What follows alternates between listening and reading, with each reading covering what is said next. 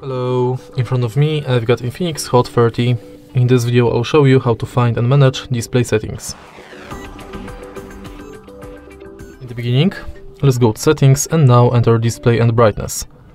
Right here we've got all settings for our display. Let's start with the top of the list where we can change display mode between dark and light. And also we can schedule the dark mode. Next we can change brightness level of the display manually or via adaptive brightness. Then we can enable or disable keep screen on function, change screen timeout between 15 seconds and 30 minutes, change screen refresh rate between 90Hz, 60Hz and auto switch,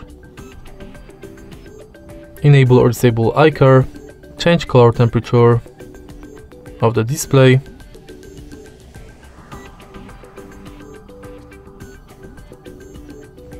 enable ultra torch function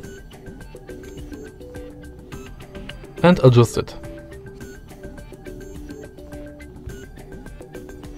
Then change font size, enable or disable inadvertently mode,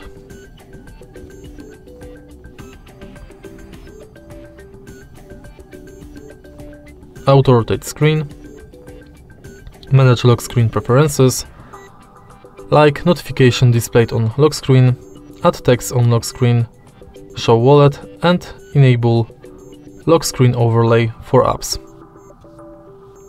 In the end you can go to status bar to enable or disable internet speed indicator, battery percentage and notification icon.